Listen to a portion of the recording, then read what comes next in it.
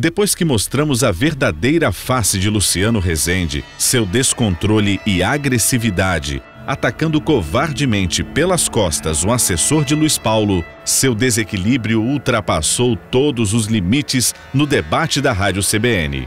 Questionado por que escondeu na campanha sua aliança com Magno Malta, veja sua resposta para Luiz Paulo. É, Luiz Paulo, você só pode estar sob efeito de alguma coisa. Por sua falta de ética e sua atitude indigna, Luciano Rezende está sendo interpelado e vai ter que se explicar na justiça. Cada dia fica mais claro para a população quem comanda a rede de boatos que atingiu a honra de Luiz Paulo com calúnias e difamação.